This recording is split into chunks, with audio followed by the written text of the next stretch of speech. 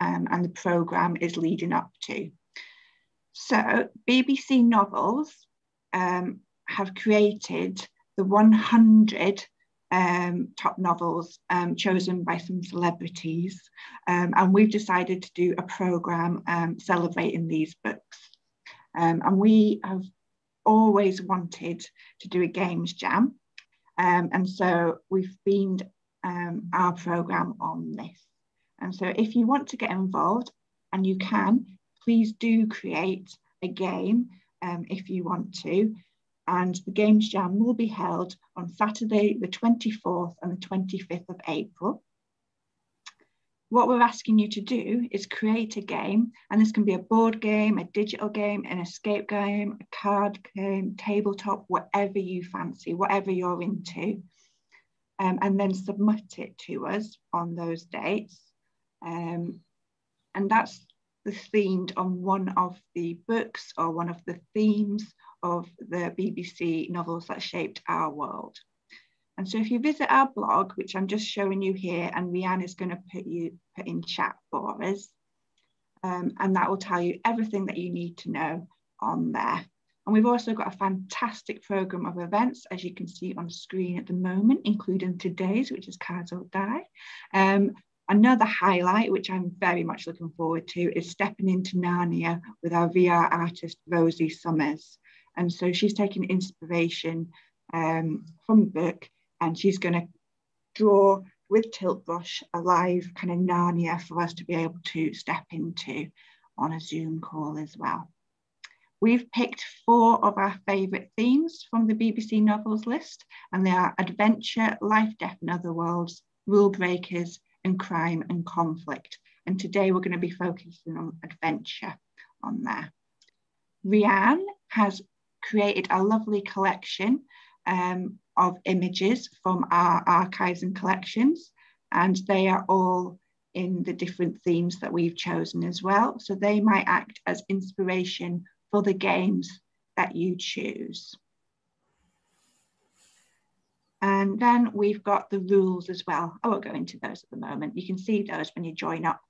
Um, but the good news is you can win 150 quid if you are the winning um, game creator or 50 quid for the runners up as well. Um, and we've also listed lots of useful resources um, that you can use. And we're very grateful to our sponsors, um, the BBC and um, Libraries Connected and the Arts Council as well for making that happen. Okay. So I think I've said everything I need to say there. Um, what I'll do now is I'll just introduce you um, to who else is with me, and I should probably introduce myself. it's the day before a bank holiday. So I'm Claire Duffield, I'm Digital Engagement Librarian from Leeds Libraries. Um, I'm here with my colleague, Rianne Isaac, who is the Collections Manager as well. Um, and we are very, very happy to have Ann Jones with us today, who's going to show us some of the game mechanics, um, particularly around the theme of adventure today and cooperative games. So I'm going to stop sharing my screen um, and let Ann take over. Thank you very much. Hi everyone, brilliant to see so many people, fantastic. Um, so, like Claire said, I'm just going to talk to you a bit about um, a couple of adventure games and have a little little bit of a look at those. Um, before I do that, you've all been sent a workbook. Um, there's no pressure whatsoever to fill that in or do it.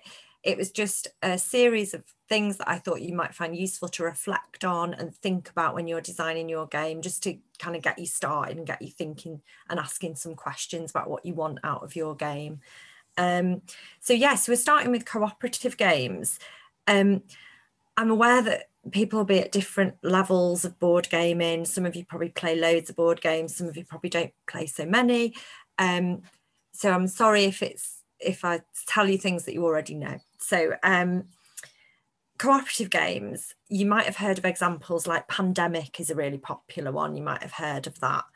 Um, Forbidden Desert there's Forbidden Island and Forbidden Sky, Magic Maze. They're all quite popular cooperative games. the basic premise of a cooperative game is that you play together against the game. So instead of your traditional kind of competitive games, it's a game where you work as a team to outwit or undo the puzzle of the game. Um, they have co- some common features. So I thought I would just talk you through some of those. So uh, one of the common features is that you play together against a puzzle, against the game itself or a situation. And often it seems like you're trying to escape from something um, or, you know, get away or find treasure and escape, that sort of theme.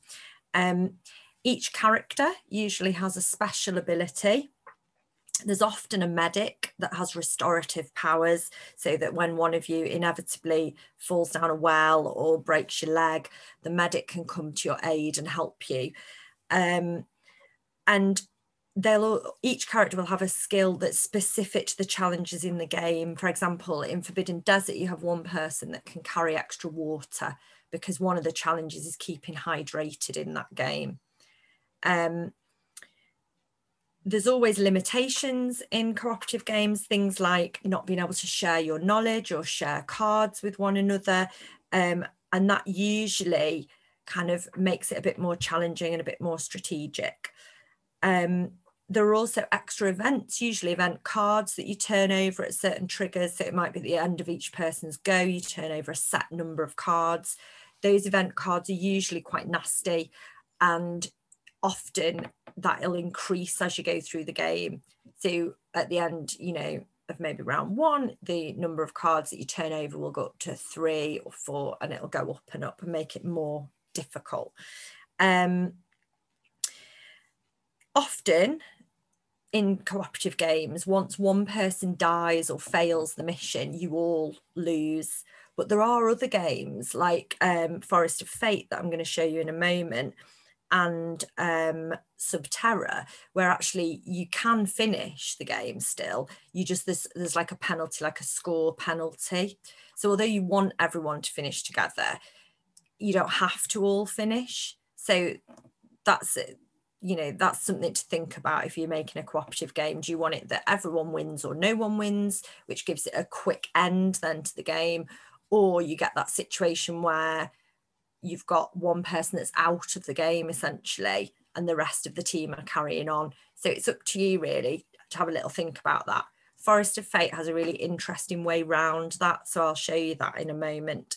Um, and then there are challenges built into the mechanics of the game. So things like um, pieces or events that move against the characters. So, for instance, in uh, Forbidden Desert, the sand builds up and when you run out of sand, you die. Um, and often in cooperative games, there tends to be a lot of lose conditions. Like usually you open your rule book and you're like, oh, how do I win? And it says you, you do this and you win. Cooperative games, it's always like, oh, run out of sand, you're dead. Lose one of the members of your party, you're all dead. Run out of water, you're dead. So there's like, there's like, there's always like this huge list of ways to fail, which is quite always quite amuses me about cooperative games. But I quite, I kind of like that because then I view it as a bit of a challenge and I'm like, yes, I'm going to do this. so, yeah, so just some things to think about. Specifically tonight, I've chosen some choose your own adventure games to look at. Um, the, the idea is that they they take you on this adventure together and it's just it just ties in with those adventurous novels and the idea that there's some sort of quest or some sort of adventure to go on um, so the first one I'm going to look at is Forest of Fate. And I'm going to move my camera. so this, yeah, let's see how this goes. Um, right, so I hope no one feels seasick. Ah, there we go. So if I can just do that. Where's the actual, right, so Forest of Fate, I might just higher it up a bit actually trying to work out where the, there we go. So in Forest of Fate, you've got this kind of, sorry, this winding path of cards, okay, that takes you on your adventure. I've only put out a little path, that's the finishing post. So I've just put out a little post. But um, the idea of the game is you adventure through the Forest of Fate And the best case scenario is that you all survive all of the challenges and then you get to the finishing post and you can see on the finishing post, oh, it's flipped, isn't it? uh, Not for us. Oh, oh, good. Yeah, it's all it's all fine. Don't worry. oh, good. It's flipped for me. How weird. Right. Oh, thank you, Fleming. So you can see one survived, some survived, and all survived. And you've got a different outcome there depending on that and depending on how many points you accrue through the game. Okay, so that's right at the end. I've started at the end. But the first thing that you do is you choose your character. I really like this game because I always describe it as like D&D light. So people who are quite interested in playing Dungeons and Dragons, but maybe don't know someone who's like skills or, or knowledgeable enough to run a campaign this is quite a nice way into it because it's got all the characters and you can you can add to the characters as much as you like and you can get into character as much as you like as well. So you've got the shaman you've got the bard the sorcerer the ranger the warrior and the thief. Now i will say one of the downsides of this game which you want to avoid is this business of colour. So those two players have different colours. Now, to me, that is not clear enough. So colour is something you want to think about when you're making your game components and you're, you're making your game. Just, just think about making sure that it's dead clear. So we're going to look at the shaman's character. Each character, like I said, has special skills. So in this game, the skills are divided into these categories. So you've got style, you've got speed, you've got guile, you've got wits, you've got force, and you've got care. Okay. So as a team, you put forward one person that's going to deal with the challenge. And you do that by deciding which skill area you're going to use to face the challenge. So you might meet a band of thieves and you decide, right, we're going to use wits. So you look on the card and you're like, right, so the shaman has got great wits. So the shaman's a good person to go forward and fight that. The other thing you want to think about is your life points. And these have got, I thought when I got this game that this was really clever. It's got this little heart. Don't know if you can see the little heart and it points to your life points. So your life points are on here with your special ability and your life points go down like this. Now, I was saying how great I thought this was, and the guy who made it, Phil, said to me they've had loads of dreadful feedback about this because it's too fiddly. So yeah, it's just something I've not thought about. If you, if you're not so dexterous, it can get, just get really frustrating and really annoying, actually. So he was saying better to have just a little clip on the top there that you can slide along. So in terms of components as well, it's thinking about things like that, isn't it? Accessibility and making sure that as many people as possible can play your game. So yeah, so the shaman has got this ability. You get a choice of two abilities in this game, which is nice because it's it gives you options and you can play it differently each time. So in this one, the shaman, I always pick this ability, which is second sight. The previous encounter happened only in a vision. Rewind all its costs, then play that encounter again, this time choosing a safer path. And it costs two life points to use. So just by using it, you're going down two life points. But when I show you the game, you'll see why that's that's acceptable. It's quite a brutal game, to be honest. Um, so you've got your character and you're going to set off on your quest. You have a starting point for your quest. So there's like six different starting points to choose from. We've got Mount Shimon, and that comes with, each one comes with an artifact or an item. And the item that we've got is the Staff of Conjuration, which says you can instantly gain any item required to bypass the current encounter. I'll explain what that means in a minute. But yeah, so you start with a quest and there's a variety of those. So one of the strengths of this game is it's got loads and loads of variety in it. Okay, so there's loads of ways of replaying it time and time again. So you've got your two different abilities to choose from. That gives it some variety. And then you've got your quests. Okay.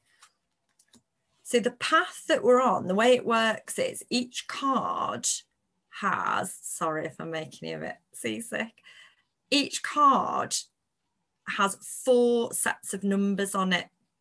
Okay, so the way that you go into the card dictates which set of numbers you use. So like this next card here, we would use the hunter. We would use the numbers on this side. And when we go into this card here, we'll use the numbers on the top. So each card depending on which way up it lands in your spread, has got four different possible ways of playing it as well, which I think is super clever because it means it just gives the game that replayability. Okay, so we've got our first encounter was coming in this way and it's called middle of the pack. You come to a sudden halt as a snarling emanates from the undergrowth. Out in front of you leaps a vicious wolf, followed by two more behind. Their jaws are dripping and their eyes are fixed menacingly upon you.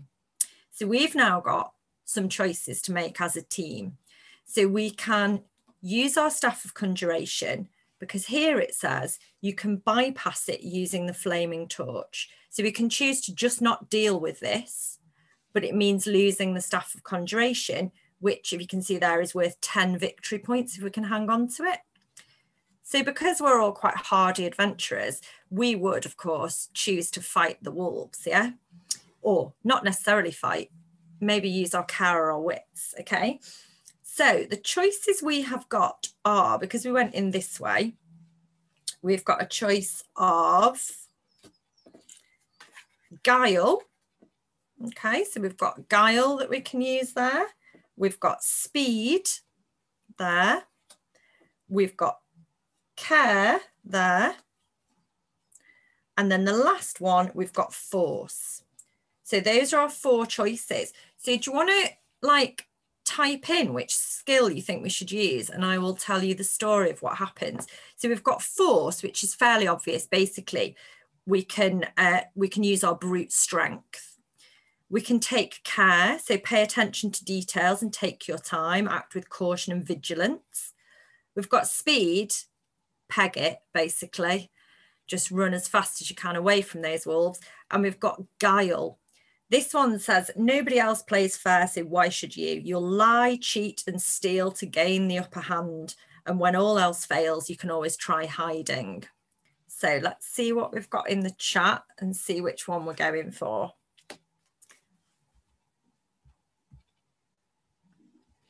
speed, care, care, guile. Oh, a lot of people are saying guile. Guile. Right, I'm going to go with guile because they were the quickest to answer. So what happens is you it comes also with this book. Okay, the storytelling, you can see it's quite worn. I've played it a lot and it gets played a lot at my events. I run uh, board game events and people love this game.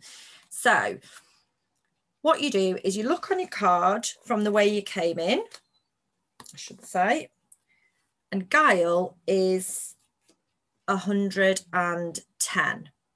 Okay, so we're going to turn to page 110, uh, number 110 in the book. Okay, and then you can see there under 110, you read that little bit out and then it's got four choices depending on your skill level. So it says you stoop to the ground and take up a fistful of dry earth as the beasts circle closer. Wait for it, wait for it.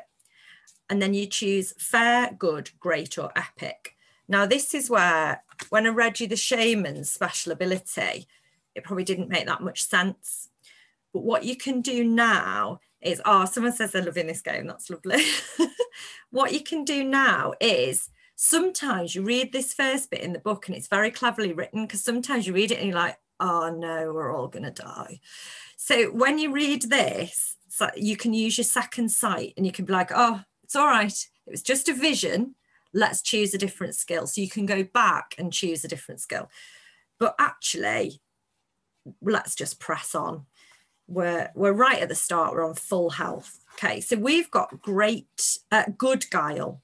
So that means we go to number 1001 in our Choose Your Own Adventure book. Ann? Yeah? Hello, it's Claire. Um, do you have like a focus um, on your camera? Because it's a little bit out of focus for us to see. Is it? Got, yeah, I don't know. If, if there's nothing you can do, it's fine because you're distance, isn't it? Yeah, you're describing it really well. If there's nothing you can do, but can yeah. you read that, or is that too small? No, I can't read it. It's, it's a bit blurred.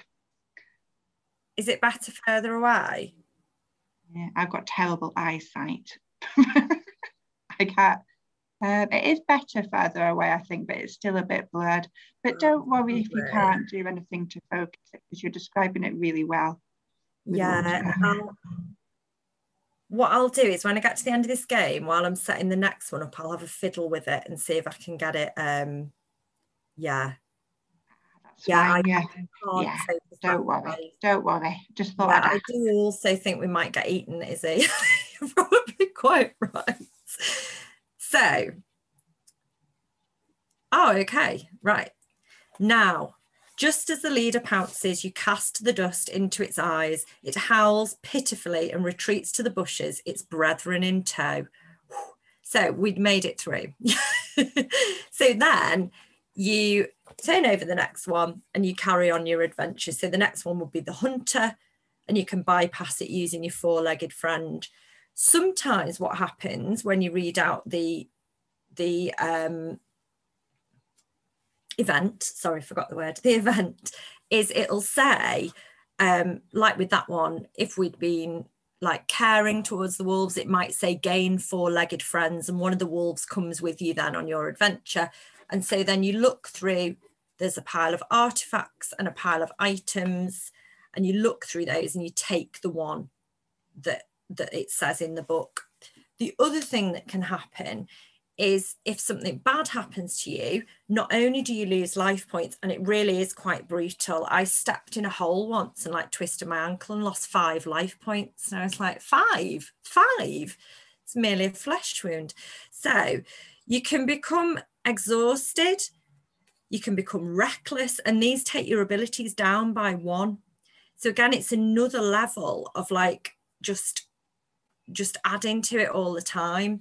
On the plus side, you can become vigilant, which adds to your care, or you can become composed, which gives you extra guile. And that's where, you know, in the book where it said epic, so it says you can be fair, good, great, or epic. You can only get up to epic if you've got one of these, and you can only go down to fair if you've got one of those. Okay, so I think that's about, oh no, I know what I've forgotten to tell you. So you know before when I was saying about um, like the, the downside of having a game where it, the win condition isn't everybody wins, is that you can have one person that's just not playing anymore.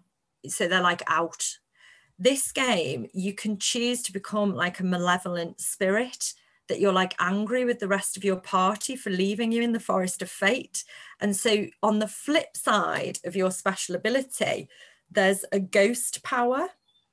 And you can use your ghost power to mess up the rest of the party, which I think is a really nice, yeah.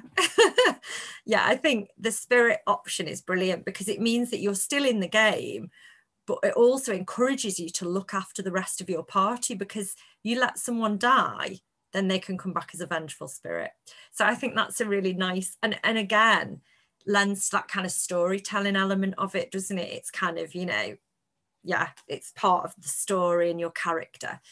And like I say people get quite engrossed in it and like take on the characters and get quite involved. It's a really nice it's a really nice game really popular but I think also it's got some quite unusual mechanics. Did anyone want to ask me any questions? Ah, best player count. Yeah. So it's one of those games that plays two to six. Yeah, it plays two to six, but it's not as good fun with two. what we ended up doing was playing two characters. And I'm not, I'd rather if a game plays three or four that it just said, you know, on the player count, I think just say, just say it plays three or four. For me, this is better with like four people. It's brilliant with six, really good with three.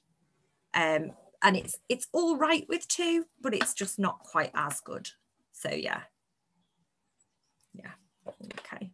Any other questions generally or about the game or are we all all right?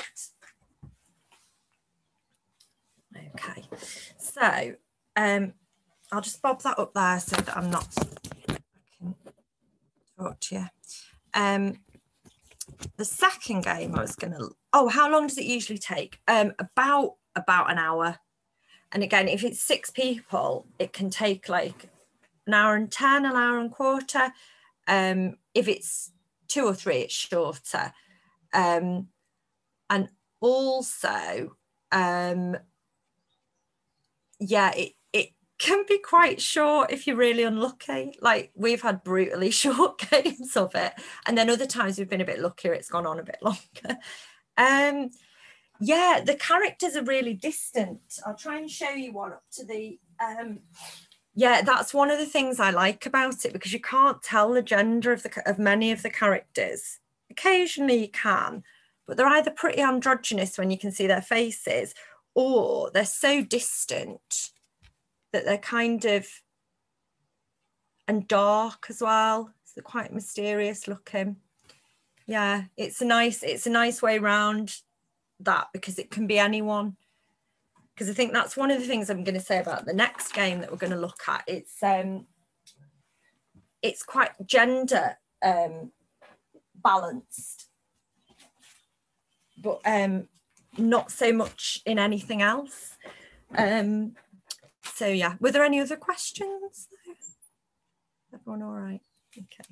So the next game I was going to show you is called Tales of Evil. And you can see straight away that's a much bigger, bigger box.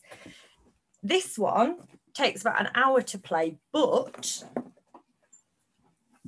it's composed of several chapters. So this is a bit different to Forest of Fate. Um, let me just check that I'm not missing anything out. yeah, okay. So yeah, this one is is um, still choose your own adventure, but a little bit different, really. Um, it's it's an 80s themed adventure game, a little bit Stranger Things. A lot of the characters remind me of characters in Stranger Things. Um, and I think that's been a big sales point really for it. Um, it's much more involved than Forest of Fate. There's loads more details and there's loads more components. So I won't go into the same depth with this one because it can be a bit overwhelming. And I know certainly when our first playthrough, we were like, what does this bit do? Why have we got this bit? There's so many bits to it. Do you know what I mean? Um, but what I was going to say, it's really interesting because there are six characters. Three of them are female and three of them are male, which is great because so many games you open it up. And I think I think the reason I noticed it so much and I felt it so much is I'm in a household with three girls and two boys. And quite often, what would happen was the two girls would get the two females, usually also quite busty females, which really annoys me, like scantily clad for no good reason, busty females. And I'd have to be a boy because there weren't enough girl characters. just irritated, just put more girls in. So I would absolutely plead with you in your game to make sure that it's diverse and it's inclusive. One of my bugbears with this is so you've got three girls, three boys, great, that's great. And then you've got one black character, five white characters. It's, just not representative. You want to play a character that looks like you, don't you? You want to play a character that that represents you. So I think, you know, there are games, Subterra I've mentioned before is a cooperative game that I'll look at in one of the later sessions. Um, and that is really representative. I love I love the characters in that. They've done a real good job. Um, it's just it's just much better. But it's so common in gaming that if you didn't buy games because they weren't representative, you'd, you'd have about five board games.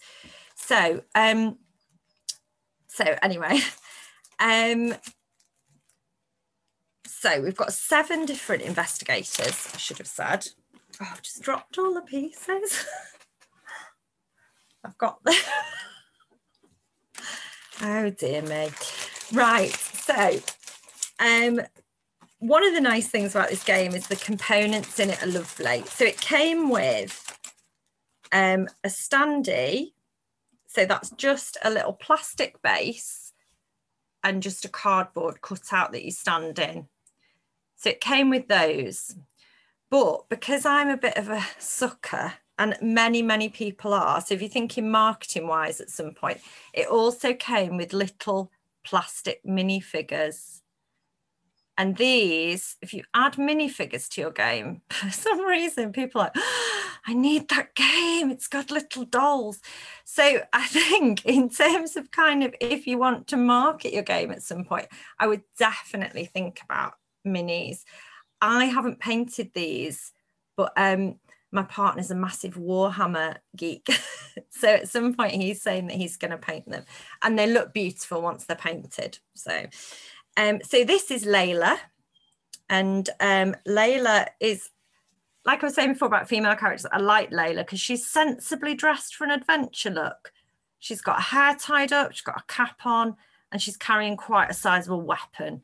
That's what you want when you're going on an adventure. So that's Layla. Um, and each character comes with a character board like this. And on the back of it, it's got a nice little story about your character so you can learn about your character and really get into your character. And then it's got spaces to put um, items that you gain as you go along your um, adventure, defensive items and uh, attack items, and these are just other other items. And it's also got space for some um, the 80s theme has been done really nicely in this one. It's really thematic. So it comes with little batteries, AA batteries, and you get three of those. And those basically you can use to, there's a few things you can do with them, but you only get three for the whole game. So it really makes your players think about how they're using them because you can use them to re-roll dice. You can use them to prevent yourself taking damage but once they're gone, they're gone. And that's quite a nice thing sometimes in games to have something that goes out of the game and is done done with, you know. So that's that's quite nice. And then you've got little hearts, just little heart counters to show life. You also have um, like brain counters to show like your wits basically. And once you run out of wits and health, you have fear. You are running on fear alone. And once your fear tokens run out, then you really are in trouble. So, what they've done is you've got three kind of statuses. Oh, no, four. Sorry, what am I saying? Four status cards. So I don't know if you can see there. You've got like a heart monitor going along there, and you've got a picture of Layla looking reasonably okay. And then on the last one, on the fourth one, you can see she's taken a bit of a battering, her heart rate's struggling, and your abilities deplete as you go through. Once she loses all her hearts on this one, then she's frozen out for a while, and um, there's other kind of consequences of that. So you you're basically trying to keep your character as healthy as possible. So you've got plenty of rungs to kind of fall down. So, and your character comes with um, ability cards. Again, it's a bit more complex because it's got more abilities, not just one ability. You've got abilities that you can choose to use at set times, some abilities that you use once and you can't use again. And then she comes with a trash can lid to defend herself and some nunchucks.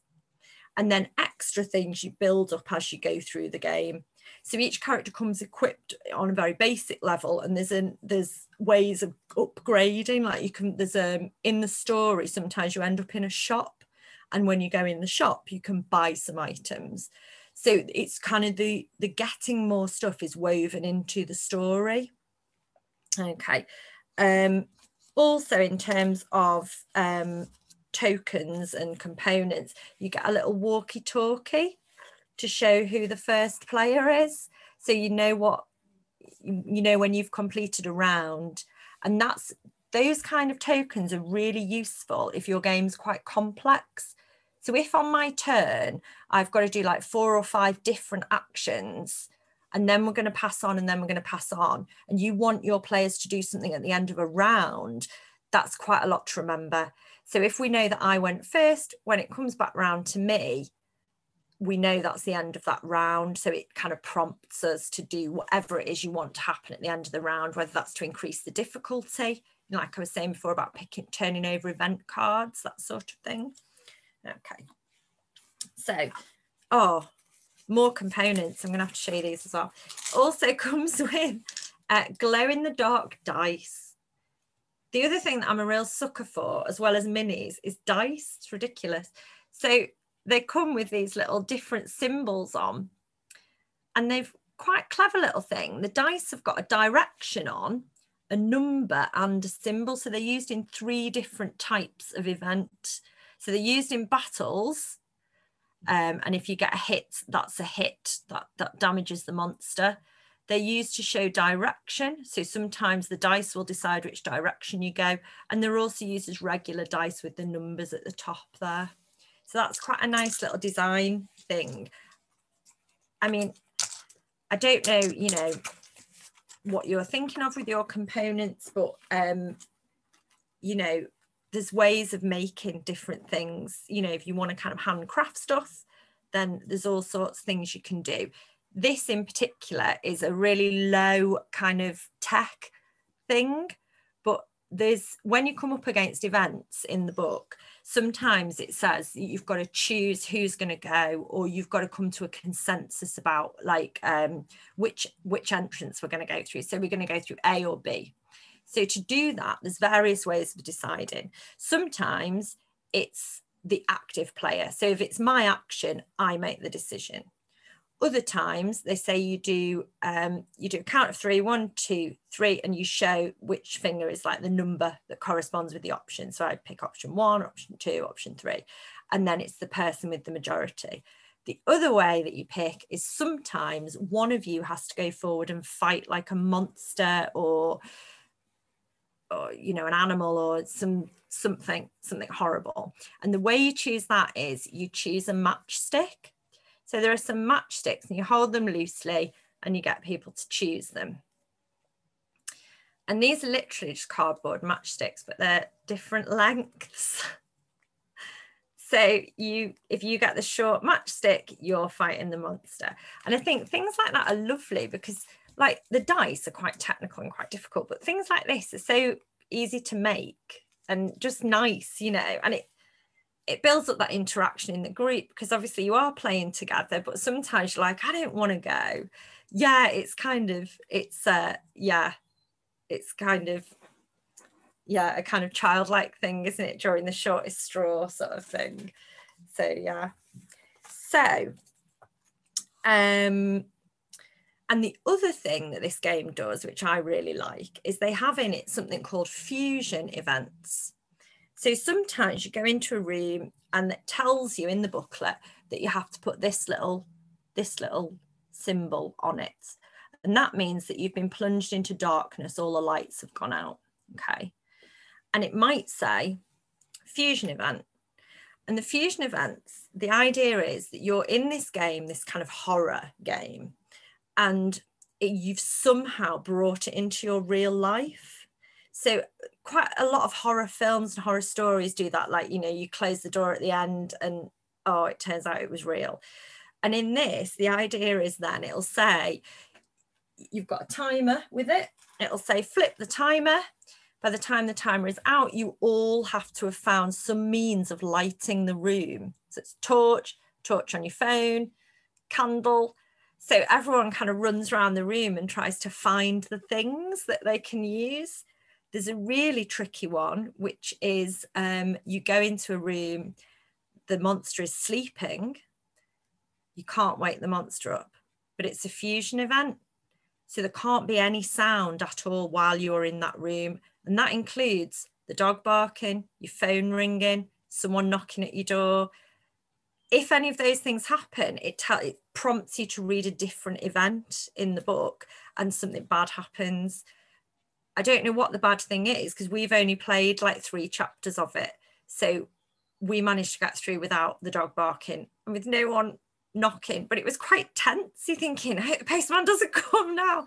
It's really good way of getting people really into the game. So yeah, so the um it comes with two booklets. You can see my markers there. That's where we're up to. And this is the Demon Puppet Mistress story. It actually comes with another story in this one as well.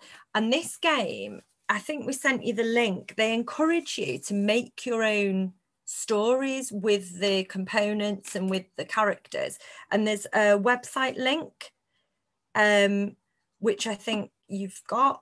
And that means that you can then, if you want to go on, that'll give you a way of, of playing about with this game and creating a choose your own adventure with this game, which is really nice. Um, so yeah. Um, and it works a bit like the other one um, in that you've got your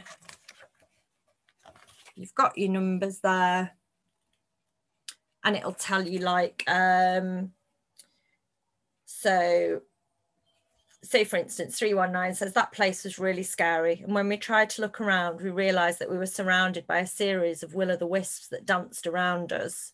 And then it prompts you to put a piece of pizza on the board because that means that there's something there to be found a bit of some kind of clue or other to be found.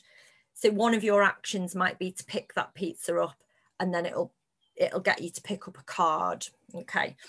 Um I don't know what went through our heads, but a couple of half open coffins were there, apparently waiting for us. So now we were there, and at that point, better to take a look, right?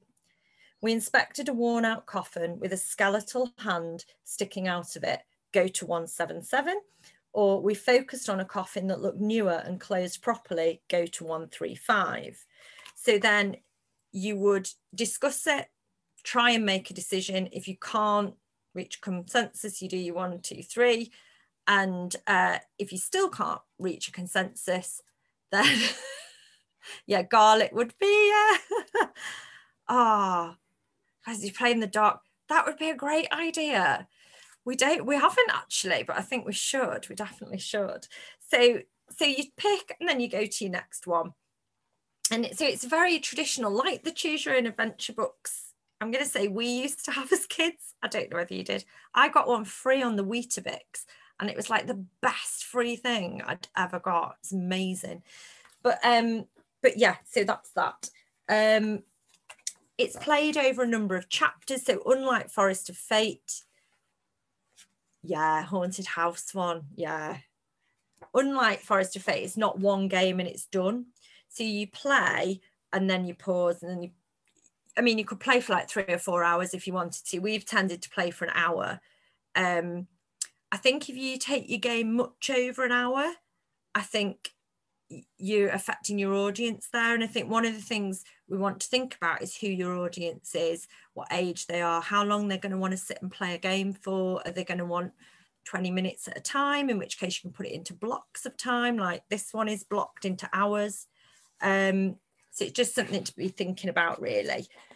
The other really nice thing this book does, this game does, I should say, book game, uh, is the for the very first one, it it teaches you. So your very first game takes an hour, and you don't really you don't really make any decisions or really play all that much, but it teaches you the game. So it takes you through each possible thing.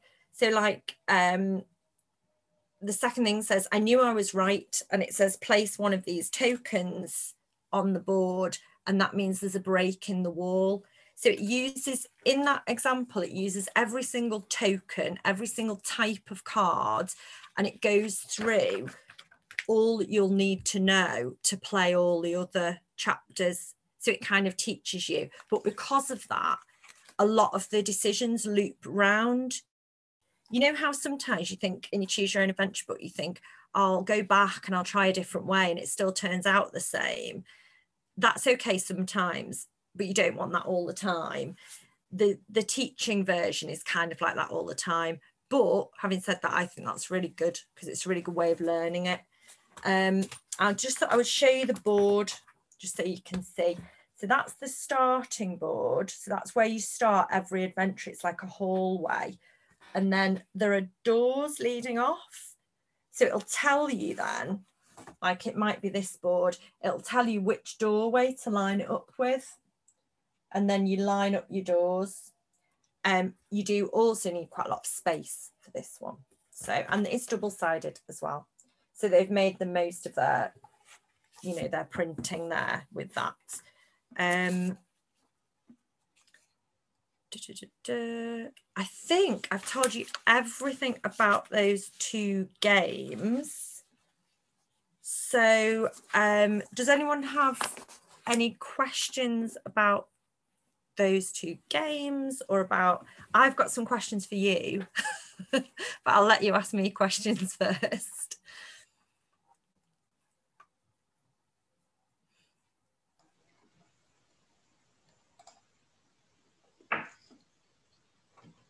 Suppose I've got a question. Yeah.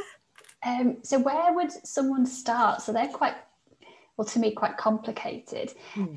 Do you start with a story or the type of game you want to play?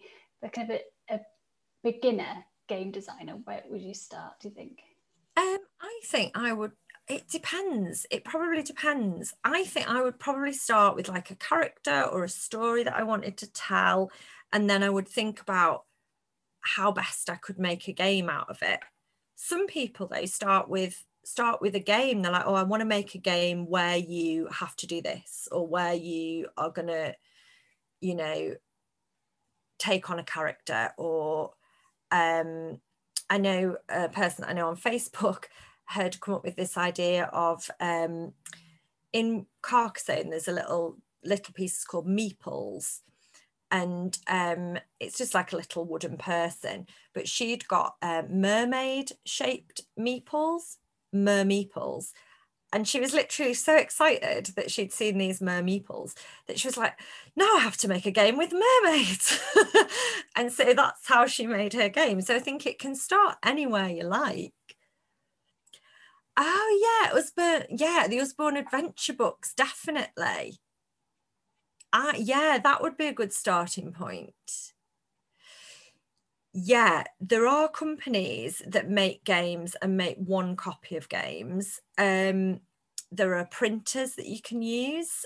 Um, these ones are really professional. Um, but it doesn't doesn't have to be. It doesn't have to be as slick as that. It's more about the experience, I think the other example I was going to give you of people making games was a friend of mine um, is an illustrator and she drew loads of crazy characters that were just mixes of different animals and things. And they were pl- literally playing around with these drawings, her and her friends. And um, they said that um, they would um, make noises for the animals, like because they weren't real animals. So someone started making a noise for one of the animals and they were like, which one is it? And they were like, oh, you have to guess. And that became the game that you put five of these mixed up creatures on the table and it, they're literally pieces of paper that she's drawn on. And then you can uh, you can guess then which one is which. But I will share some links with you. What I'll probably do is I'll get Claire to email some stuff out to you after the session but I can share some links. I'm just looking to see where my box of stuff is. I can't see it. Um, I got a load of stuff from a company that was like blank cards and blank dice. Oh, they're there, look. So they were just blank cards that you could write on, but they look, they're like proper, do you know what I mean? A proper card. So even though you're just writing on them in Sharpie, it feels a bit more like a game, do you know what I mean? And they were quite, they were quite cheap. So they're quite a good starting point. So I'll link that company email if you do want to buy any bits. And then the die, what I did was, because um, my son made a game about making cakes, we just printed out on the printer on stickers and then cut round them and stuck them on the dice. So it doesn't have to be like dead high tech. Do you know what I mean? It's more about getting some ideas down and yeah. Ah, prototypes and ideas. Cardboard Monopoly of Morley, brilliant. Brilliant. That's amazing. But yeah, those Usborne adventure books are good. Yeah. So I don't know whether I answered your question, Rihanna, just witted on. No, that's really useful. I think just that um, I suppose if anyone has any ideas that they want to like bounce off each other or mm. um, but like what Claire was saying, we're not looking for kind of a complete game. It can just be some design ideas. Um, but yeah, and you can upload anything you like for the games jam. Um, but it'd be great if people want to use your expertise and knowledge to if they've got any ideas. But no pressure, we've got four weeks, haven't we? yeah, I've got bags of time. So I was thinking there's some questions that I think it'd be quite useful to kind of think about. So I was thinking like one of the things I said at the beginning was often rule books start with a win condition. So maybe start to think about what winning would look like in your game. So you know what what does that look like for you what is winning is it that everyone wins is it that one person wins you know we have a little think about that and maybe have a think then in a linked way about how easy it will be to win or how easy will it be to lose so you starting then to think about audience a little bit as well like is your game for children is it for everyone? Is it for, you know, people who play games all the time? Is it for someone who's read that book or like fans of the book? Or is it for someone who's never read that book, but you want to share the experience of that book with them? Like if you picked like The Hobbit or something, are you assuming that they've read it and seen films or that that you just love that book and you want them to experience the adventures that those characters went on? You know. So just some things to think about really. Um, yeah. Some great questions to start off with, Ann. And I think um, from our point of view, um, as judges, um, we're looking for books, uh, sort of for games that really inspire someone to read the book if they haven't, or to enjoy the book in a new way. Um, so it could be that you're creating a whole new narrative of a character um, or something, or a new ending to the story or something like that using the games. Um, so yeah, that's definitely what we're looking at. Yeah, you like if you've got people becoming the characters, then that might lead them on different paths than the characters in the actual book went on. You know? Like those kind of alternative narratives you sometimes get. I read a poem about um, called it was called The Lady of Shalott, but it was by Elsa Corbluth, and it was it was about after, like after everyone had assumed she was dead, what really happened, and she wasn't dead. She was just really bored, and it was just like just gives you a whole new perspective. So you could do that. You could do something like after the book or before the book, or you know what I mean. It doesn't have to be like bang on the book. And I also really love the different little elements like the matchsticks and the batteries and stuff. So you could focus in on what's in the book and create those um, little kind of tools and things. I thought that was really lovely and really hands on. Um, immersive, isn't it? Then, like when you play this game, you're really in the 80s. Do you know what I mean? With the little, like those little battery details, and yeah, and that can be captured through like illustration or or components or whatever, you know, whatever you want. Yeah, and you could use some of our Flickr collection images that Rianne's put together as well. Um, those are copyright free, I think, aren't they, Rianne? Yes, you could just use them. And if anyone's got any ideas that we haven't got images for, then you can send us an email and I can troll through some of our library shelves and get more images. Uh, but I think we've got a question, haven't we, about whether the game has to relate to one of the 100 novels. No, well, ideally, yes, but because they're all in these different themes, it can be quite broad. So we're looking at adventure, rule breakers, crime and conflict, and life, death, and other worlds. And so I think if there's some sort of link to those themes, or um, or maybe you set it in 19th century England, so you've got that kind of Dickens kind of theme to it. Um, but we're really quite open, aren't we? And that's kind of how our judging criteria is going to work. So is it going to make me pick up a book and a story? Oh yeah, and is he oh, just saying about lots of copyright free stuff that people can access? So I think we'll probably start. We will have like a Facebook group where we can share some ideas, um, so we can start putting lots of kind of links and things there too. It's really cool, yeah.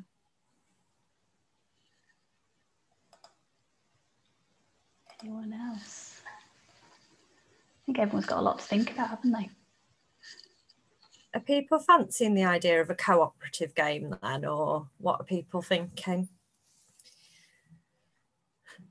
Feel free to take yourselves off mute if you're okay yeah, being recorded. That's absolutely fine. I hate cooperative games. That's fair enough. That is fair enough. Because there isn't an overall winner. Why why do you hate them, Tom Van? Oh no. Well, what winds up happening is that one strong personality winds up taking over the game and basically telling everybody what to choose. And it gets me so peed off that I just like, I have a very hard time playing them at all. Um, yeah. But, uh, or, or I'll try to undermine the goals just to be fractious. But basically, I, I feel like uh, the, it is difficult for it's it winds up not being truly cooperative yeah. and it's just like if you just want to be all four people then why don't you just sit at home and play it by yourself um, yeah and it, yeah. and I, and I play games enough that it's really irritating to have somebody else constantly telling me what to pick it's like I want to learn you know, give me the opportunity.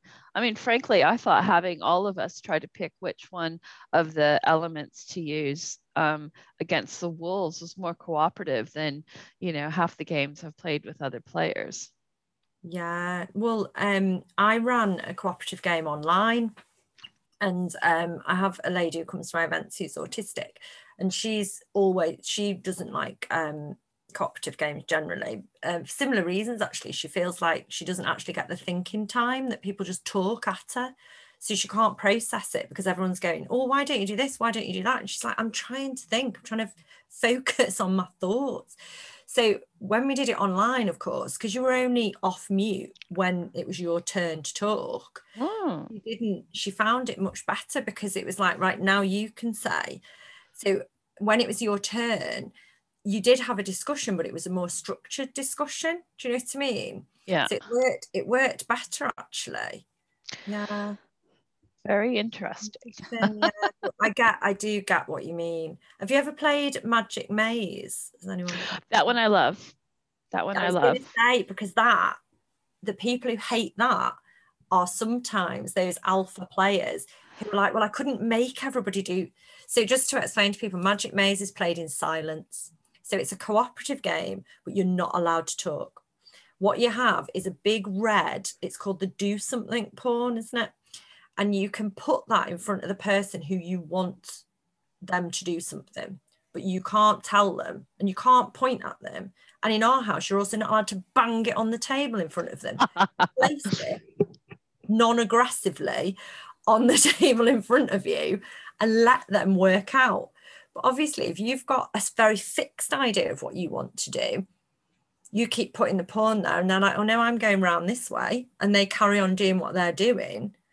That gets people angry, but for different reasons. People get angry because they can't make everybody do it their way. So people who like like you say who hate cooperative games for that reason, that yeah, that's a good one for them actually. That's really interesting that you love it. that's good.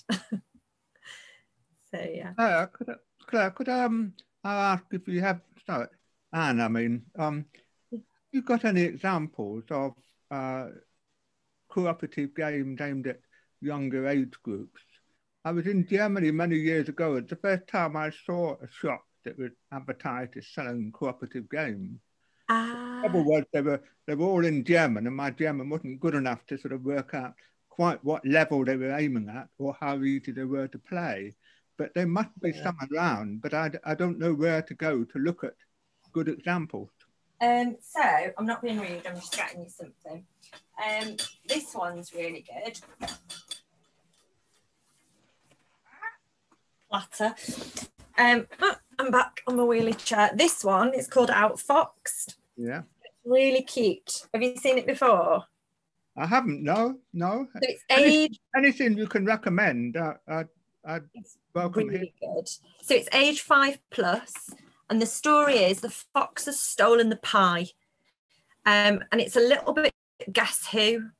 So you've got to work out which fox stole the pie, and then you've got to stop him getting to his um, burrow at the end. Is it a burrow? Set. Oh. Foxhole. Uh. Home.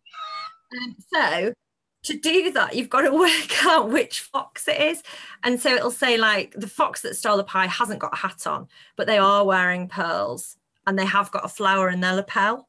So you gradually deduce which fox stole the pie. And it's just lovely. And it's got a little, me and my figures, it's got a little orange plastic fox in, which is really cute. So that's a brilliant one. And someone's just said Zombie Kidz. That's good too. Yeah, that's a really good one. And SOS Dino is a nice one where there's um, four dinosaurs and you have to work together to get them onto the hills, the high mountains, away from the volcanoes to save them. And that's really cute. And that's like, I think that's seven and up. So, right. yeah. Thank yeah. you. Hope that helps.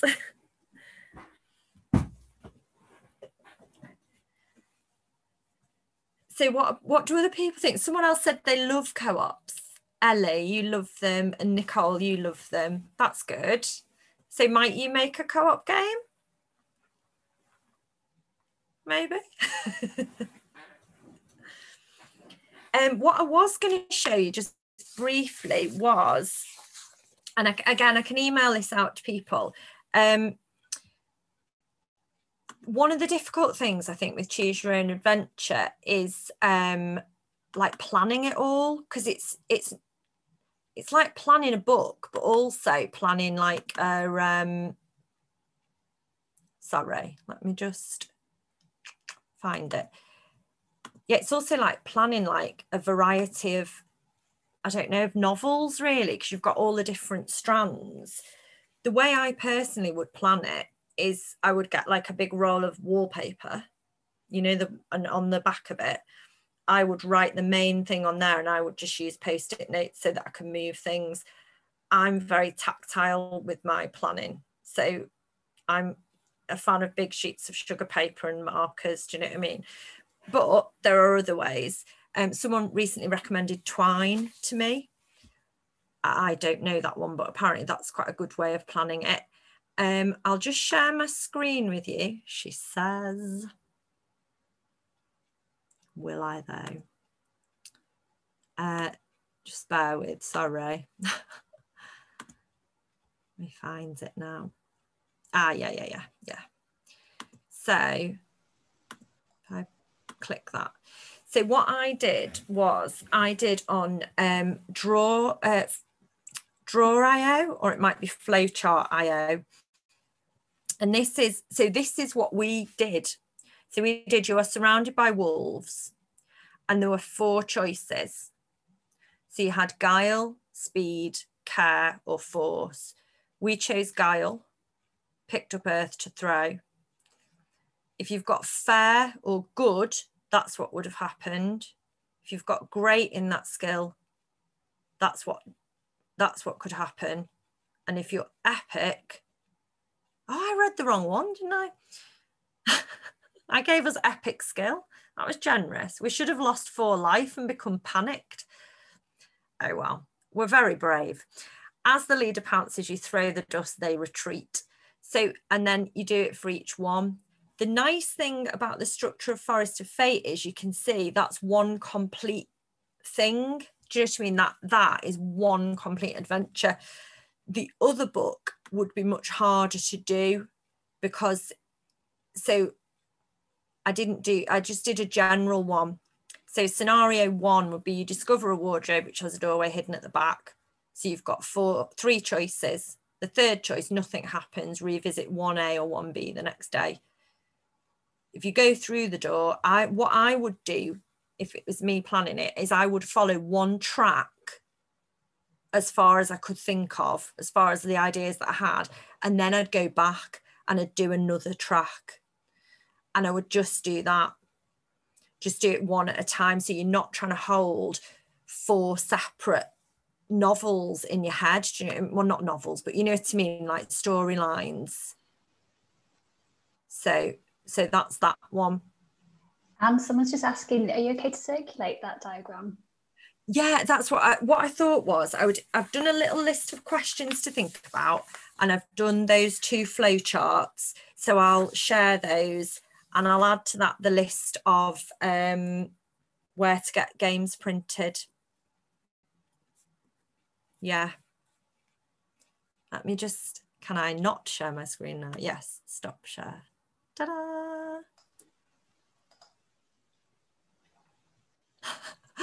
Oh, Nicole, I feel your pain. My 12 year old wins everything. Uh, my son beats me at everything, absolutely everything. It's painful. Don't even let him. Like, sometimes I pretend I have just to save face. I'm like, yeah, well, you know, it's good for you to win. It's like boost your confidence.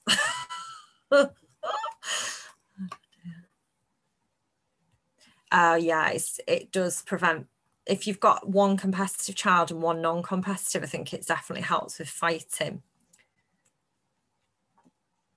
Um, that um, that Zombie Kidz Rachel might be good for seven plus. I think that might be a good one if they're into that sort of thing. Or if they like dinosaurs, that Dino SOS is a good one.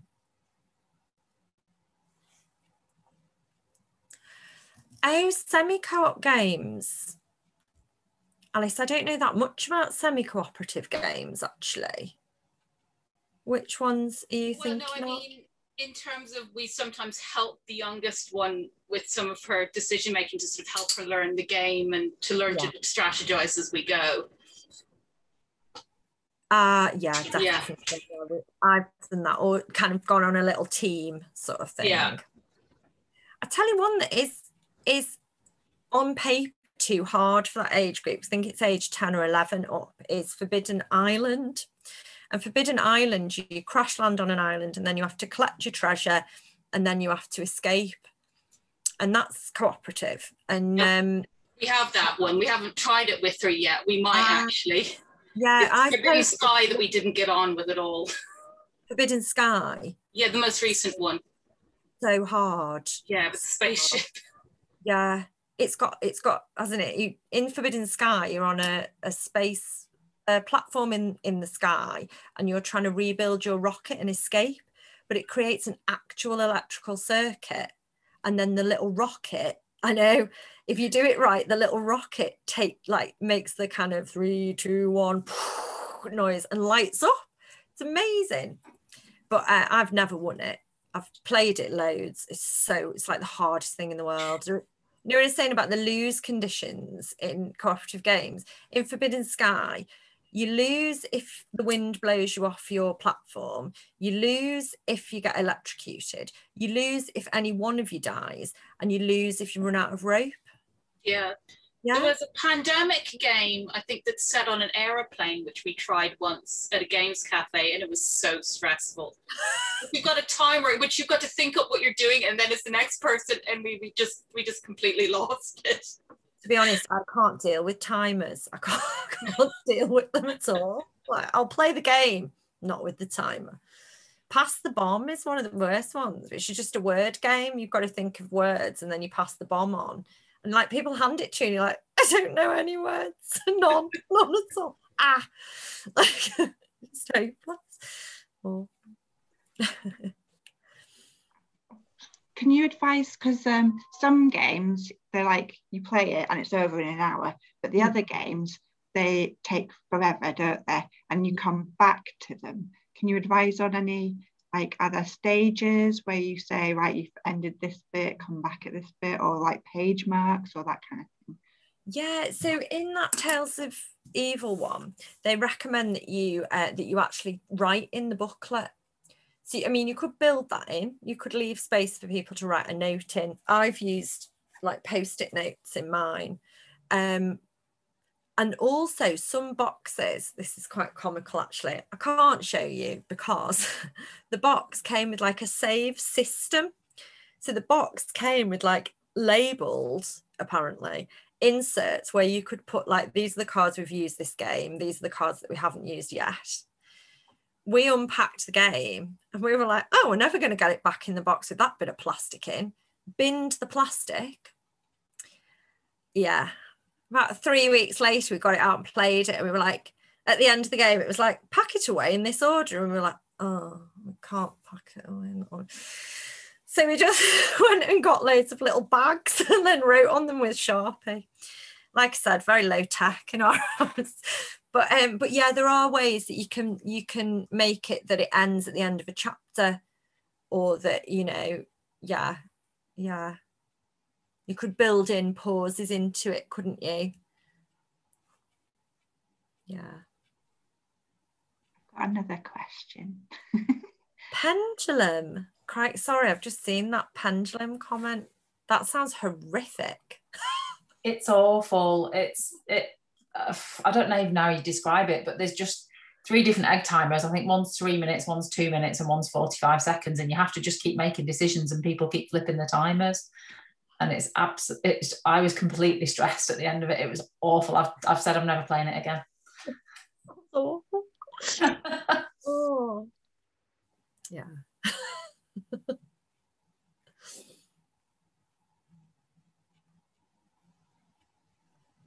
I've forgotten my question now, Ann. it's me, I talk too much. No, I was getting carried away, you see. I love all yeah, this is fantastic. It's so great to like share everyone's experiences and different ways you play as well. Um, and I've learned a lot. Um, I want to now buy two or three of the games that you talked spoken about, especially the rocket one, which creates a circuit into that. It's a bit of like STEM, really, isn't it? Yeah, yeah, it's true actually. Yeah, you're learning in it. Is it worth doing a bit of a teaser for next week? Uh, yeah, sure. So, oh, uh, really excited. yeah. So next week if you're joining us for the next one, it is, um, oh yeah, it's Life, Death and Other Worlds. So um, we're looking at a game called And Then We Died, which is, um, it's a beautifully illustrated game on tarot cards. Um, and I've had an idea actually to email a card each out in advance so that we can start with a little game of it. It's a really it's a really nice little game. Um and that one plays one to about eight people they say but you can play with well we're going to play with however many people we've got aren't we? But um yeah so you can play like um you can play it on your own and it's just about writing stories with the cards. So that's a really nice one. And we're going to look at dixit as well. I don't know any of you know dixit yeah, it's beautiful. Like the artwork's beautiful. Yeah, Dan's nodding. There's lots of people nodding. so that's a really beautiful one. And again, that's one that you could kind of um, you could kind of make really that kind those kind of cards, you know, that kind of game. And we're going to look at in terms of mechanic, we're going to look at that voting mechanic that Dixit uses, that um, the dreadful Cards Against Humanity has popularized. Um, yeah. So that's uh, that's an interesting little mechanic to use. So yeah. I'm really looking forward to yeah learning about those. That sounds fantastic. Ooh, I didn't know that about that. Yeah it's awesome. It's it's really it's a really simple game to, to start off with and then as you play it there's a little stack of envelopes in there and you they have new pieces in them and new rules and new baddies. It's really cool. Our boys absolutely love it. So we've just got the new one which is Zombie Teenz and that's really good as well. Ah cool. Yeah. Oh that does sound good. Um which one do you mean is a bit like Fluxx? And and then we died? Sorry, now in terms of the sort of new rules and elements to the game. Ah, yes. Have you played Fluxx, Nicole? Yeah, we've got Fluxx. Fluxx is Fluxx is a bit different in that the rules change as you're going along. So depending on I can't we haven't played it for ages, but I think depending on what cards you've got in play or what tiles you've got in play, I think the rules change and then you're just getting close to achieving something and then they change again and it's really frustrating but fun yeah come it's it's one of the games i did a, a session of games with some um, autistic children at my son's school and um, that's one of the games i took in because i think it's it's quite it's fun because it's i've got the zombie one and so kids want to play it but that that that switching and changing is quite challenging. So it's quite an interesting one to have a go at and talk about how you feel about things changing quite suddenly. And it was it was an interesting one. So if, if you don't know Fluxx, it's um, a card game and you have goals in it that you're supposed to achieve, but those goals are set by you playing a goal card down onto the table. So at any moment, someone from their hand can go, oh, I'm just going to change the goal. Um, and then it changes it. And they can also play new rule cards, which can make you discard cards or pick up extra cards or play extra cards on your turn. So all three of those things change and flux constantly through the game. The amount of cards you can play, the amount you can pick up, and the the the outcome. So yeah, it can be it can be a bit annoying. is um is Zombie Kidz when uh, does it require you to believe or to believe sublimely or otherwise in the existence of zombies? If I'm wondering what it does to kids' minds.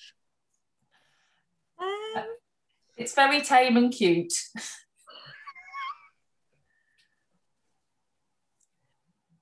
My kids have always been quite ghoulish and liked all that kind of Halloween stuff, so they were never bothered by that. No, no, I, I was just, just wondering whether it, um, yeah no, it's an interesting question. I think it's interesting. Yeah. If if people do like Fluxx the other one that I've got that's a little bit similar is called We Didn't Play Test This at All. And it's just like chaos. You only start with two cards and you play a card and pick up each turn. And it's one of the cards is I win. And you play the card and you've won in the games. so sometimes the game lasts a minute and sometimes it lasts much longer. There's one card that says presents, and the other person has to say yes or no, or the other people. And one of the presents, if you say yes, it's a box of snakes, you die. So you're all out. So only the people who said no are left. And the other one is, um, I think it's chocolate cake. So if you said no, you're a fool and you're out. so it's like just complete chaos. That that's a cooperative game, is it? No, that one's a co- that's a competitive right. one, but it's just really daft. So it, it's one that you almost don't mind losing because there's no skill involved. It's just stupid. You know I mean? So my my children used to find that very funny because it was so silly and so arbitrary. Like they used to both find it hilarious. So just thinking if some people enjoy Fluxx, they might also enjoy that one. So Victor's saying Chrononauts. I don't know that one. Is that a timeline type one? Uh, yeah. So uh, basically, you, there is there is a timeline uh, which is laid out um, on the table uh, in a sort of, sort of like a grid of cards. Um, but it and, and, and then basically you play various uh, actions or items to affect the timeline to get it to what your win condition is. Um, you can also collect items, things like uh, the fake Mona Lisa, the convincing Mona Lisa, the real Mona Lisa. Um, but uh, a house rule that we play with, which makes it fun, is that uh, whenever you change the timeline, you need to narrate how and why you change it. Uh, and then if somebody then wants to change it back, then they need to incorporate your story in their story. Uh, it's a it's a fairly old game, I think, at this point. I might be out of print, uh, but it's again like a fun, silly card game. Oh, that sounds really nice. Is has everybody got a different objective then? Uh, yes, so you start off with uh, random different objectives. So, for example, it can be collect the fossils of five dinosaurs, uh, and then you win, or have these events happen in that particular order. Right. That sounds really good. Oh yeah, you just said each person has two objectives. Cool. Um, Chrononauts. I'm writing that down because I have not heard of that. Oh no. Sounds quite brutal. I like a brutal game. well, I think we're coming up to the end of our session. So do you want to leave it there, Ann, and leave people wanting more?